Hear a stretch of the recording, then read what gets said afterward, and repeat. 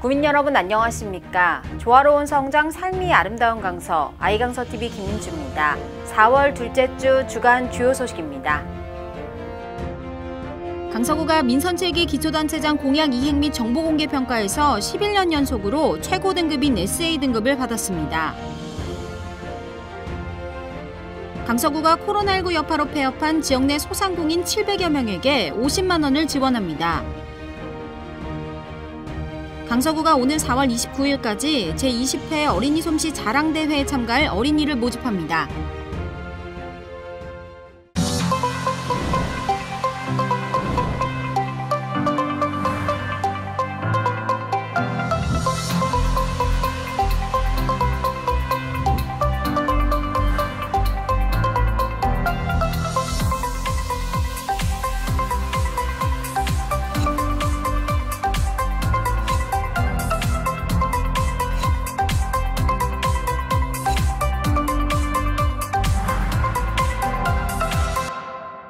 강서구가 한국 매니페스토 실천본부에서 주관한 민선칠기 기초단체장 공약 이행 및 정보공개 평가에서 11년 연속으로 최고 등급인 SA 등급을 받았습니다.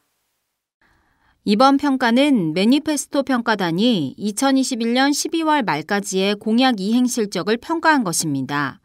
강서구는 평가 결과 총점 90점 이상을 달성해 SA 등급이라는 최상급의 공약 이행 실적을 기록했으며 특히 공약 이행 완료율이 92.1%로 전국 평균과 서울 지역 평균을 크게 웃돌아 공약 이행 분야에서 높은 평가를 받았습니다.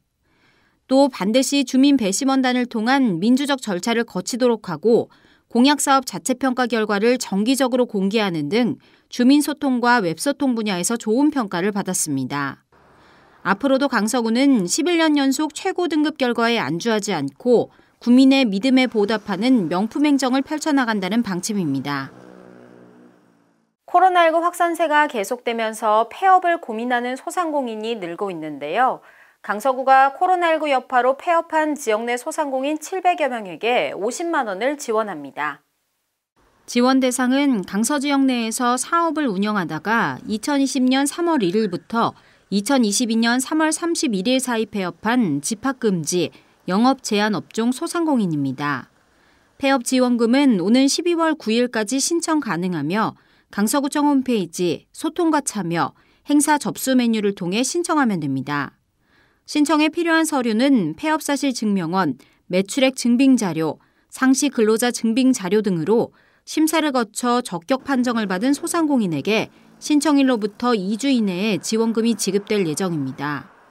폐업 소상공인 지원에 대한 자세한 사항은 강서구청 지역경제과로 문의하면 됩니다.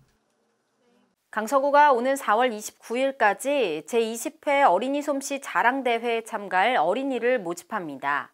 이번 대회는 동요 부르기, 그림 그리기, 글짓기 3개 부문으로 진행됩니다. 먼저 동요 부르기 부문은 지역 내 초등학생을 대상으로 각 학교별로 3팀만 신청받으며 개별 신청 없이 학교장 추천만 참여가 가능합니다. 코로나19 확산 방지를 위해 한 팀당 구성원은 최대 3명으로 제한하며 참여를 희망하는 학교는 참가 신청서와 영상 파일을 담당자 이메일로 제출하면 됩니다. 이어 그림 그리기와 글짓기 부문은 지역 내 미취학 아동과 초등학생을 대상으로 참가 신청서를 방문이나 우편, 팩스 또는 강서구 어린이구청 홈페이지를 통해 온라인으로 제출하면 됩니다. 대회는 오는 5월 4일 오후 1시 30분부터 6시까지 아이강서TV 유튜브 채널을 통해 실시간 비대면으로 열리며 동요 부르기 부문은 참가자 영상이 상영되고 그림과 글짓기 부문은 방송으로 주제 발표 후 제한 시간 안에 완성된 작품을 제출하면 됩니다. 대회 수상자는 5월 19일 강서구 어린이구청 홈페이지를 통해 발표되며 기타 대회에 대한 자세한 사항은 강서구청 아동청소년과로 문의하면 됩니다. 강서구가 주차시설이 부족한 전통시장을 이용하는 고객들의 불편을 줄이기 위해 시장 내에서 만 원 이상 구매한 고객을 대상으로 마을버스 무료 승차 쿠폰을 지급합니다. 마을버스 무료 승차 쿠폰을 지급하는 시장은 까치산 시장, 화곡 본동시장, 송화 벽화시장, 방신 전통시장, 남부 골목시장 등 다섯 곳이며 강서 010203, 050607번 등 6개 노선을 이용할 수 있습니다. 승차 쿠폰은 구매 영수증을 지참해 고객센터와 시장 내 행사장에서 교환할 수 있으며 발행된 쿠폰은 오는 11월 30일까지 사용하면 됩니다.